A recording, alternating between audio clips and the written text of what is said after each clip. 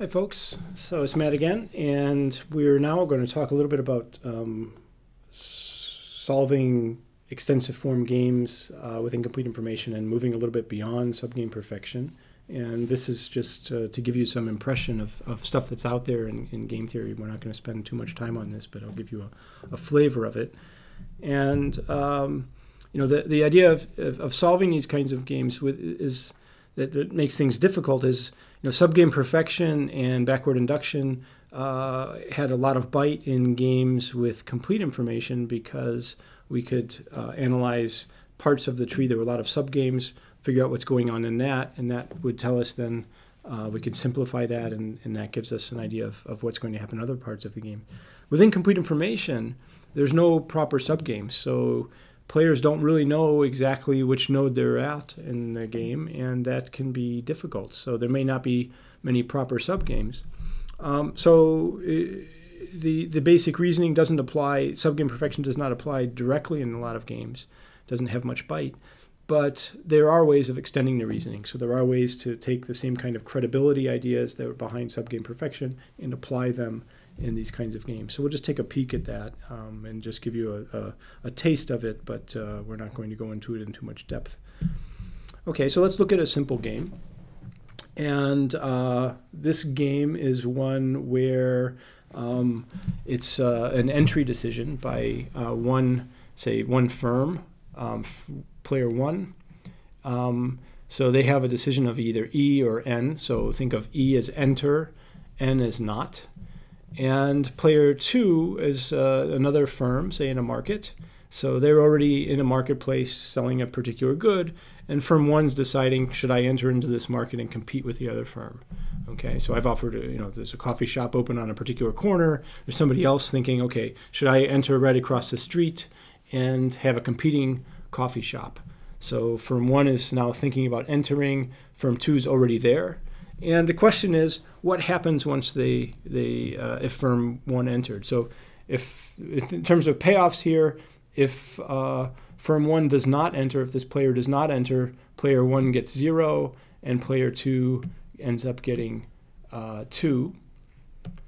Um, so the the payoff for player two here is two if firm one does not enter, and that's that's true either way it happens. If firm one doesn't enter. And uh, then if firm one enters, then the payoffs depend on whether uh, the the incumbent coffee shop, say, is one that's going to fight. Um, so F stands for fight, or A for acquiesce. So basically, they can either say, okay, look, live and let live. We'll have two coffee shops. We'll lose some of our business, or we can go toe to toe by um, offering special coupons, discounts. Uh, we're going to make this miserable for the other for the other uh, company, and so the payoffs actually depend on whether firm two fights or not.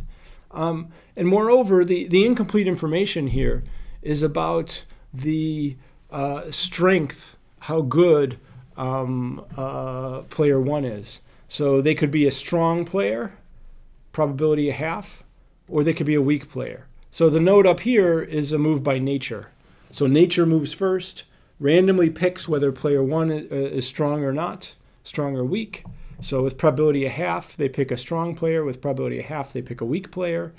And player one gets to see the outcome of that. So player one, this new coffee shop, I know whether I've got really good coffee or not. Um, player two doesn't know what the quality of, of firm one is when firm one enters. So if firm one is the strong one or firm one is the weak one, player two cannot distinguish between those two different situations, and that's why we have this information set connected here. Okay, so that's the structure of the game. And basically, where does the strong and weak manifest itself in terms of payoffs? Um, it manifests itself in terms of, for instance, what happens if firm two fights. So if firm two fights a, a strong firm one, they both get minus one. So they both lose. If, if firm one is strong, uh, firm two fights, th- that's going to be costly for both of them. If firm one, uh, firm two fights a weak entrant, then firm two gets zero and firm one gets minus two. So weakness means that they do less well in, in, in fighting. Um, we can also, in this particular game, have a situation here where, where the uh, you know, firm one, um, the weak version of firm one, even if, if firm two is accommodating, is eventually going to go out of business. They're just, they, you know, they've got really lousy coffee. Um, they're not going to make it.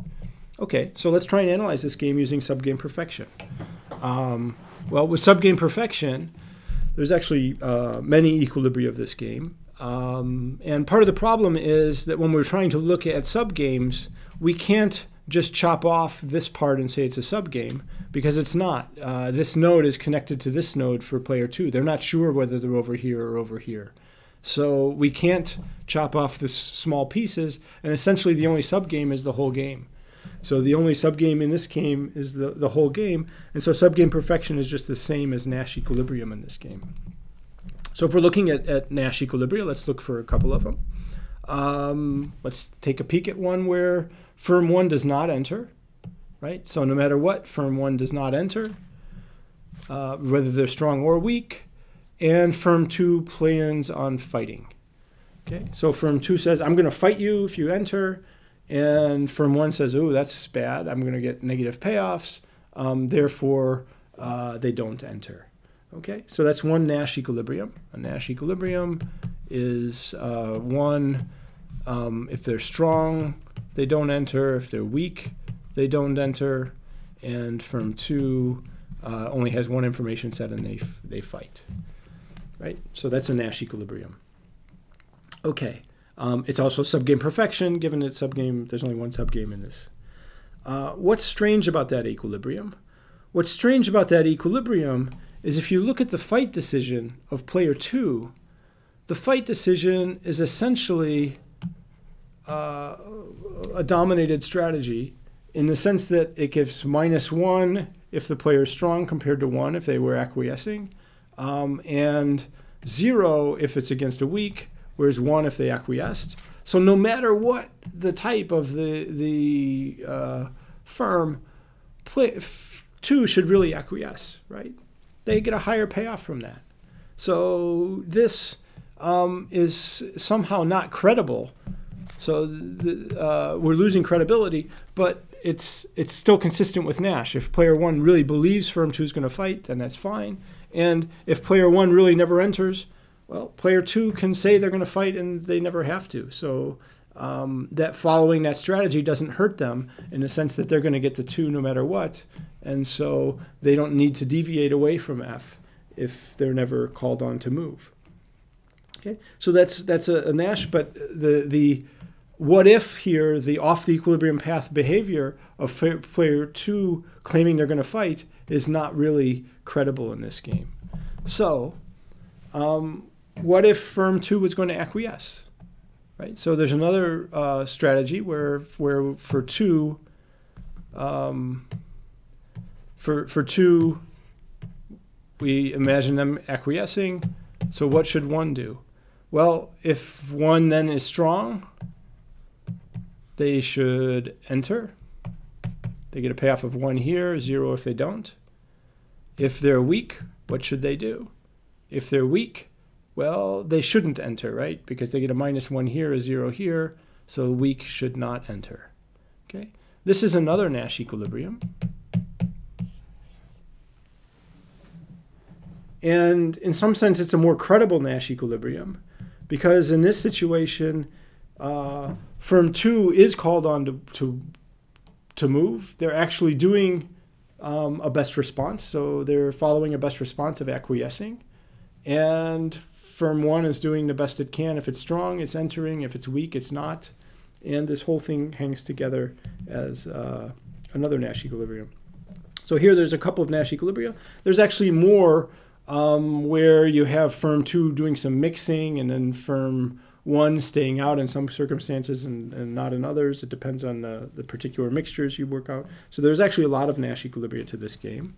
And uh, so when we when we want to analyze this, um, subgame perfection corresponds with Nash. It doesn't give us much bite in terms of picking out one or another.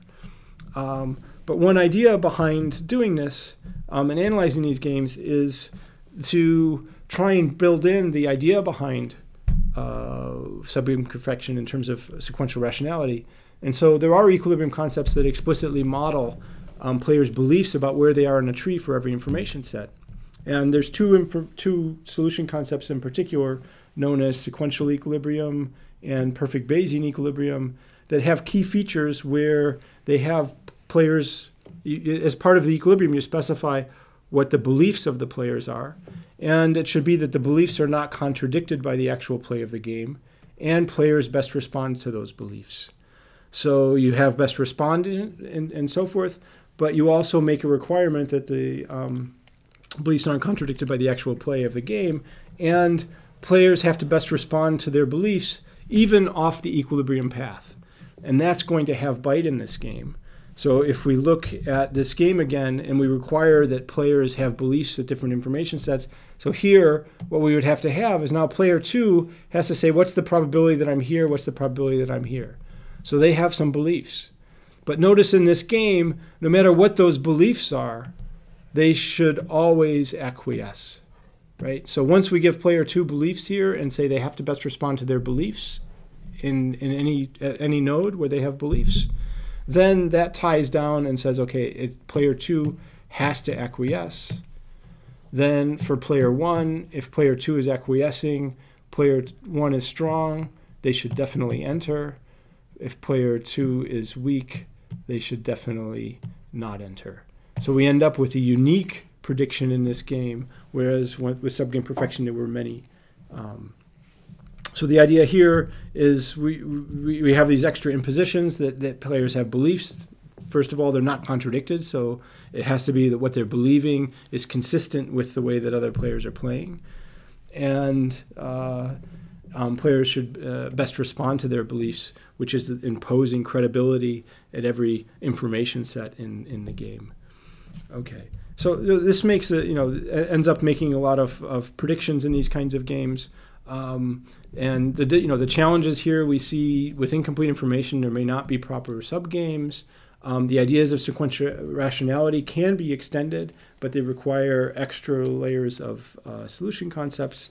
And you know, once we do this, we're, we're, also layering on a lot more than we had before. And we've seen subgame perfection already can be quite demanding of players. Here now, they also have to be very good at inferring things based on where they are. Um, but when you begin to see things like professional poker players playing, they're very much uh, going through these kinds of calculations. So if another player raised a bet, um, what does that mean about what their their hand is likely to be? Um, should I be, you know, what what should I do under different circumstances? If I have a strong hand, should I call? Um, should I raise their uh, and, and so forth. So, so what's going on in this kinds of solution concepts, nonetheless, um, are, are, are very well suited to analyzing specific kinds of games.